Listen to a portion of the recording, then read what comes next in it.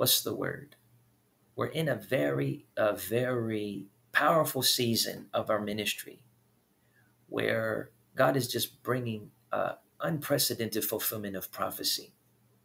So the Bible says, freely you've been given, freely give. I'm just one of those prophets. I'm not trying to hoard anointing. I'm not trying to hoard grace. I know why the Lord's given it to us so that we can be distributors of that grace for your life in the time of need, for the gifts you believe in the Lord to see. God is going to open your eyes in a way that you have not uh, experienced before. Just receive out of this grace in Jesus' almighty name.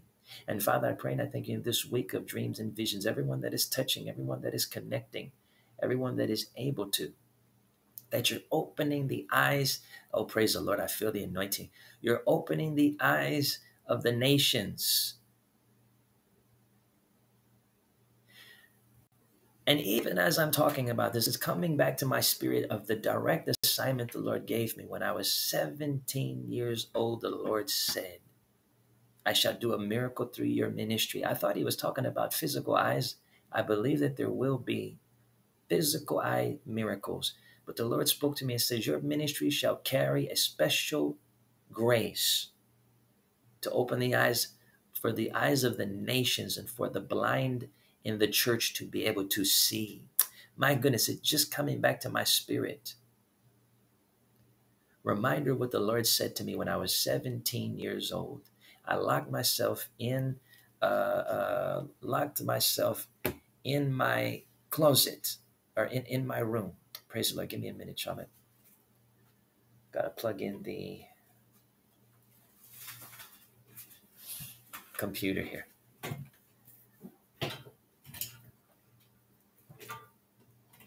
Praise the Lord. There we go. I locked myself in my room for a week because God was speaking to me about vision and about eyes. I found every scripture I could find on vision from Genesis to Revelation. And I meditated on these scriptures for an entire week. I was actually believing the Lord to heal my eyes because I was wearing glasses. I wanted to, to receive a miracle. Amen. And so, um, in doing that, a mighty vision came to me. I found myself laying in a church on the carpet in the future. And I asked the Lord, I got up in the in the vision. Really, it was like a trance. I woke up, I got up, I stood up, I said, Where am I? I wasn't in my room anymore. The Lord said, You're in one of my end day revivals. This is a revival where no one entered the church without having their eyes touched. Even cataracts, uh, nearsightedness, farsightedness. There were contacts and glasses all over the floor. People had thrown off their vision correction because their eyes were healed upon entering the church. The Lord said to me, Don't marvel at the physical vision correction, but let this be a sign that I shall open the eyes of my church. And this shall be a move of God that your ministry shall participate in in an hour where I will cause my blind church to see. In 2019, March, exactly one year before the pandemic, I was called by the National Day of Prayer to paint downtown at the Rotunda City Hall building in Cleveland. When I went to pray and asked the Lord, What do you want me to paint at the Rotunda? I saw in a vision a woman with a blindfold over her eyes. And I saw a mask of all things. I saw a mask on her face. One year before the pandemic, I saw this in a vision. I saw a mask on her face that was designed with the American flag. And God said to me, My nation is blind.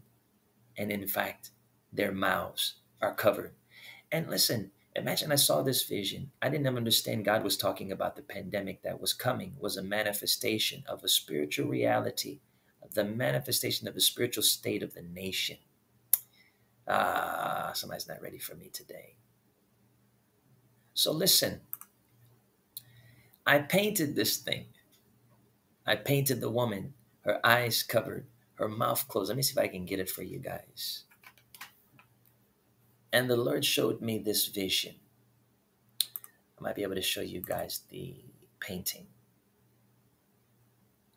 The Lord showed me this vision exactly one year before the pandemic, before anybody even knew there was going to be a pandemic. We saw it in a vision. I'm going to get it for you guys here. We saw it in a vision. And God was speaking to the state of the nation. Amen.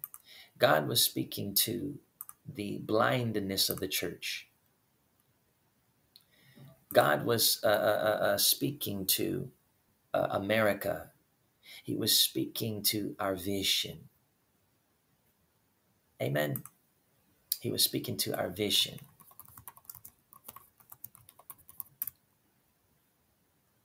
There it is. Praise the Lord. Hallelujah. Stay with me, y'all. We're in Daniel chapter 10. Daniel chapter 10. I'm going to show you this painting I did. March of 2019, exactly one year to the date that the pandemic hit. Exactly one year. And this is our Dreams and Visions fasting week. Amen. A time where we are believing the Lord, we're pressing into vision for the Lord to speak to us and continue to speak to us about our house, about our nation. There's the there's the painting.